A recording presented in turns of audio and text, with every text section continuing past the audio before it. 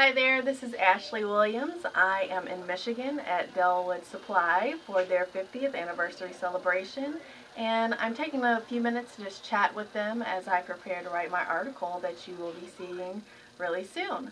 So um, first question we're going to start with, could you just talk to me a little bit about what, what we can expect to see today and what you all have planned?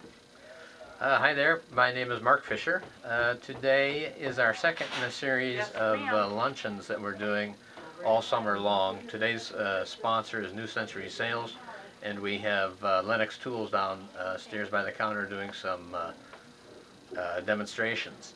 Uh, today's lunch is going to be Philly beefsteak sandwiches.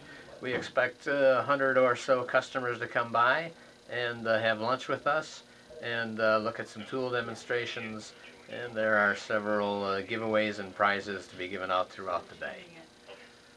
Sounds awesome. And as the founder, can you walk us through some of the highlights of the last 50 years? What what are the exciting moments that have happened? Well, the, I guess the technology is the main thing that's kind of changed over the years. From the hand-operated uh, adding machine to the computers today. And then, of course, 19 years ago, we added a branch, which is uh, very good. And the branch is maintaining its own. It's a one-man operation, and they're doing a great job down there. Uh, other than that, uh, we just keep growing. My son joined me 35 years ago, and he really runs the business.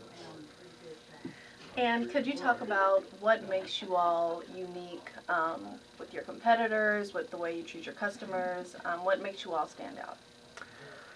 What we really center on here, uh, of course, is uh, is customer service. Uh, I said to Ashlei a moment ago that there was an article in last month's Wholesaler uh, written by Rich Smith um, that I told her any one of the people that work here could have uh, written that article because those uh, those are the things we do. We uh, we greet each person by name as they come through the door. Uh, we uh, we are very good at um, taking care of special items in a timely fashion, and um, and I guess if there's a, message to uh, the series of luncheons and and today especially uh, is that um, the small independent wholesaler is alive and well and and working every day.